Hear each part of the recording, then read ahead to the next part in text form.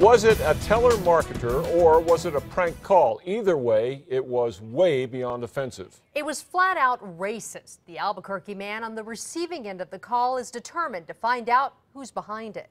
Here's News 13's Nancy Laughlin with the recording of the tirade. Nancy? Well, just it's a call that started out pleasant, but things quickly turned nasty and ugly. And we should warn you, this one has some harsh language, including the N word a lot.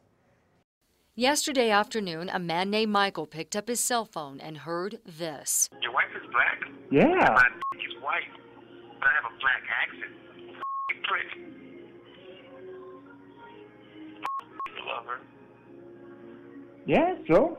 You're you're a lover. The call didn't start out that way. It began with a conversation from a man who claimed he was a telemarketer calling from a credit card company. When Michael told him he was on the do not call list, things got ugly, with the caller using the N word again and again. Michael began recording and threatened to sue. I'm gonna f that in her ass.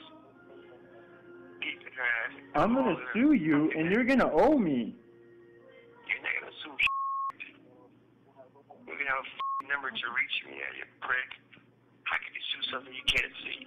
Michael also got the number. We traced it to Boston. We spoke with operators there who say callers can put in fake numbers that are difficult to trace. We also called the credit card company. They say they don't have any telemarketing offices in that area and maintain their employees would never do this.